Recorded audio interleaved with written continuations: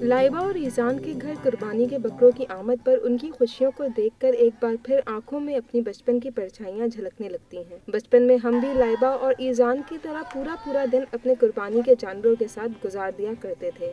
अपने अपने बकरों के साथ मसरूफ नज़र आने वाले ये बच्चे आज भी गुजरे हुए वक्त की याद दिला देते हैं। बकरों के साथ और, गायों के साथ खेलती हूँ। बकरे टहलाते हैं हम लोग। तो मज़ा आता है। बकरीद में अपार्टमेंट से रौनक होती है और ईद में तो ये यही मौका होता है सिर्फ़ दस दिन ये इसी के होते हैं। आज भी दोस्तों के साथ जानवरों को ठहराने की रिवायत कायम है।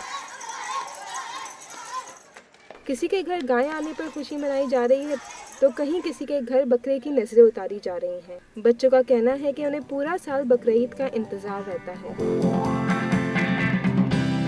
गाय को खिलाते हैं खा, खा, खाना खिला उनको चारा भूसा खिलाते हैं पानी पिलाते हैं। ज, जब बहुत जीबा होता है उनको बहुत वो रोना आता है। मैंने कहा था अब्बू बहुत अच्छा बकरा है थैंक यू खाना खिलाया था उसको घुमाया था।